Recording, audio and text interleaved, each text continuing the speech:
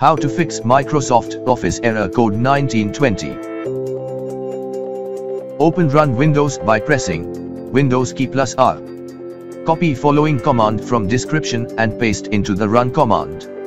This will not show any message to you but fix the problem in background. Change Windows Font Cache Services Startup Type to Automatic.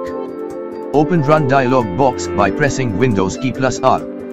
Type services.msc and click OK. It will open services window. Find Windows Font Cache Services and double click on it.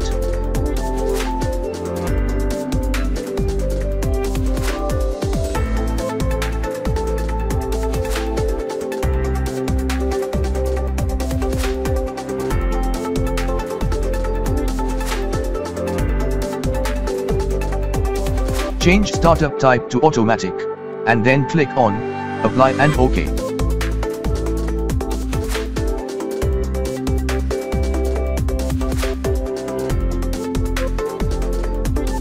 If this not fix your problem, then download automatic repair tool from following site and install it in your PC. Scan PC using this tool and fix the error. Thanks for watching. Please support us by doing like, share and subscribe. Have a good day.